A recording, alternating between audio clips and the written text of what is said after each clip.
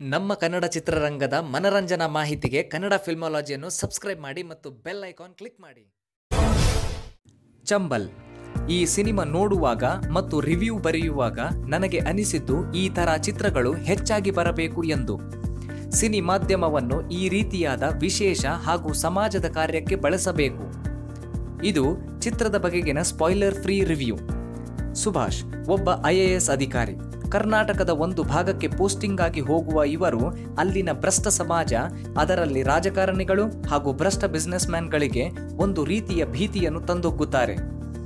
ಈ ಚಿತ್ರ ಒಬ್ಬ ನಿಷ್ಠಾವಂತ ಅಧಿಕಾರಿಯ ಕುರಿತು ಎನ್ನುವುದಕ್ಕಿಂತ ಕರ್ನಾಟಕದ ಮನೆ ಮಾತಾಗಿದ್ದ ಡಿ ಕೆ ರವಿಯವರ ಕುರಿತು ಮಾಡಿದ ಚಿತ್ರ ಎನ್ನಬಹುದು. ಚಿತ್ರದಲ್ಲಿ ಅವರ ಹೆಸರು ಬಳಸದೇ ಇದ್ದರೂ ಈ ಚಿತ್ರ ಅವರದೇ. ಸತೀಶ್ ನಿನಾಸಂ ನಟನೆ ಎಷ್ಟು ಚೆನ್ನಾಗಿದೆ ಎಂದರೆ ಅವರು ನಟನೆಯಲ್ಲಿ ಒಂದು ಮೆಟ್ಟಿಲು ಮೇಲೆ ಹೋಗಿದ್ದಾರೆ ಎಂದು ನೋಡುಗರಿಗೆ ಅನಿಸಬಹುದು. ಅವರ ಈ ಹಿಂದಿನ ಚಿತ್ರ ಅಯೋಗ್ಯದ ಹಾಗೆಯೂ ಈ ಚಿತ್ರವು ಶತದಿನೋತ್ಸವ ಆಚರಿಸಲೆಂದು ಹಾಸಿಸುತ್ತೇನೆ. ಇನ್ನು ಚಿತ್ರದ ನಿರ್ದೇಶನ. ಬಂದು ಜಾಕೋಬ್ ವರ್ಗೀಸ್ ರವರು.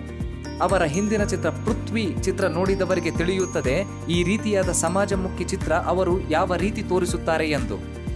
ವೈಯಕ್ತಿಕವಾಗಿ ನನಗೆ ಅನಿಸಿದ್ದು, ಓದುತ್ತಿರುವ ವಿದ್ಯಾರ್ಥಿಗಳು ಐಎಎಸ್ ಐಪಿಎಸ್ ಇನ್ನು ಯಾವುದೇ ಅಧಿಕಾರಿಯಾಗಿ ಸಮಾಜದ ಸೇವೆ ಮಾಡಬೇಕೆಂದಿರುವ ಯುವ ಮಿತ್ರರು ಹೋಗಿ ನೋಡಲೇಬೇಕಾದಂಥ ಚಿತ್ರ ಇದು. ಇತರೆ ಕಲಾವಿದರು ಸ್ಕ್ರೀನ್ ಮೇಲೆ ಬಹಳ ಕಾಲ ಇರದಿದ್ದರೂ ಇದ್ದಷ್ಟು ಕಾಲ ತಮ್ಮ ಪಾತ್ರದಿಂದ ಡಾಮಿನೇಟ್ ಮಾಡುತ್ತಾರೆ. ಸೋನು ಗೌಡ ಅಚ್ಯುತ್ ಕುಮಾರ್, ಪವನ್ ಕುಮಾರ್ ತಾವು ಮಾಡಿದ ಪಾತ್ರಕ್ಕೆ ನ್ಯಾಯ ಒದಗಿಸಿದ್ದಾರೆ. ಚಿತ್ರದಲ್ಲಿ ಮೂರು ಸಾಂಗ್ಸ್, ಸಿಚುವೇಶನ್ಗೆ ತಕ್ಕ ಹಾಗೆ ಇಟ್ಟಿದ್ದಾರೆ.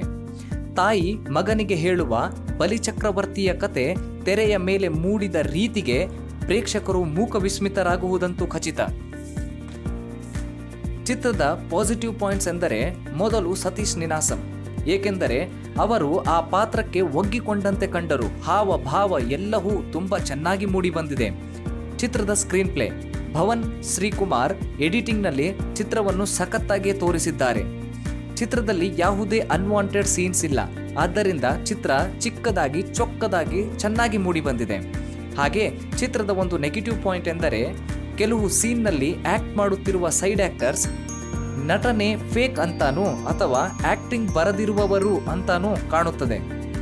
ಈ ಚಿತ್ರದಲ್ಲಿ ನಮ್ಮ ಕನ್ನಡ ಫಿಲ್ಮಾಲಜಿ ಟೀಮ್ ನೀಡಿದ rating four out of five ಹಾಗೆ ನಿಮ್ಮ ಅಭಿಪ್ರಾಯ ಮತ್ತು ನಿಮ್ಮ ರೇಟಿಂಗ್ ಅನ್ನು ಕಮೆಂಟ್ ಮಾಡಿ ತಿಳಿಸಿ. ಈ ರೀತಿಯಾದ ಕನ್ನಡ ಸಿನಿಮಾ ವಿಶೇಷತೆ ಮತ್ತು ಮನರಂಜನೆ ವಿಡಿಯೋಗಳಿಗಾಗಿ ನಮ್ಮ ಯೂಟ್ಯೂಬ್ ಚಾನಲ್ ಕನ್ನಡ ಫಿಲ್ಮಾಲಜಿಯನ್ನು ಸಬ್ಸ್ಕ್ರೈಬ್ ಮಾಡಿ ಮತ್ತು ಬೆಲ್ ಐಕಾನ್ ಕ್ಲಿಕ್ ಮಾಡಿ.